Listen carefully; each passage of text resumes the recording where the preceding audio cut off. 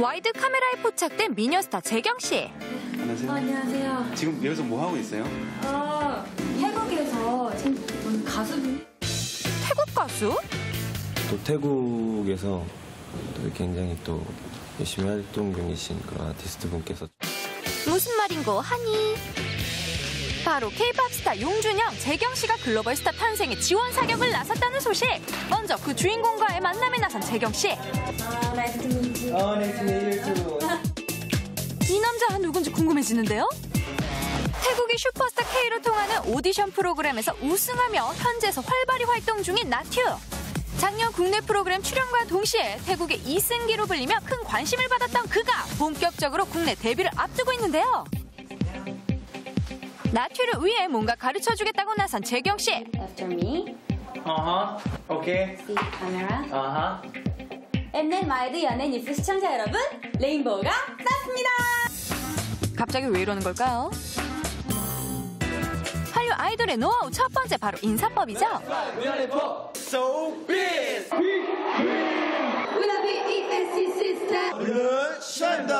엠넷 와이드 연예 뉴스 시청자 여러분, 레인보우가 떴습니다. 오, 오, 와우. 오케이. 엠넷 와이. 너희 와이. 어, 연예 뉴스. 여. 연예. 엠넷 와이. 연예 뉴스. 시청자 시청자 여러분, 나튜가 떴습니다. 어, I do my best. 이번엔 뮤직비디오 촬영에 나선 나튜. 이곳에서도 나튜의 국내 데뷔에 지원 사격을 나선 스타를 만날 수 있었는데요. 바로 용준형 씨입니다.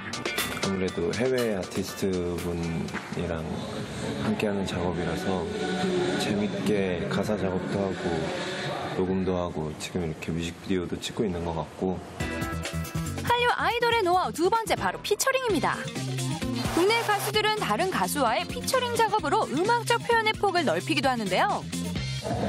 나튜의 국내 데뷔곡에 용준영 씨가 피처링을 맡아 벌써부터 화제가 되고 있습니다. 작업 후에도 간간히 교류를 할 수 있는 그런 친구로 남았으면 좋겠네요. 네. 음악으로 국경을 넘은 두 사람의 우정 앞으로도 쭉 이어가길 바랄게요.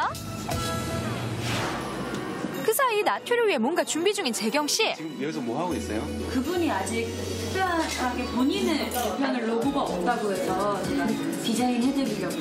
디자인 참 잘 하시는데 저희 와이드도 한번 해주시면 안 될까요? 어, 좋죠. 저렴하게 해드릴게요. 연락주세요. 한류 아이돌 노하우 세 번째 바로 개성 있는 로고죠. K-팝 스타들에게는 각 그룹의 개성을 살린 로고가 있는데요. 국내 데뷔를 앞둔 나튜를 위해 직접 로고 디자인에 나선 재경 씨. What is the most you like? This? Oh, me too. 어, 예. Hmm, I think it's creative. 정말 멋지네요. 우와. 고마움의 표시로 재경 씨에게 특별한 선물을 준비한 나투. Hmm, yes. 와. 나보다 더 잘 그리신 것 같아. 이렇게 준비된 나투의 첫 국내 무대 기대해 주세요. 한국 활동 완성 대박. 대박. 아,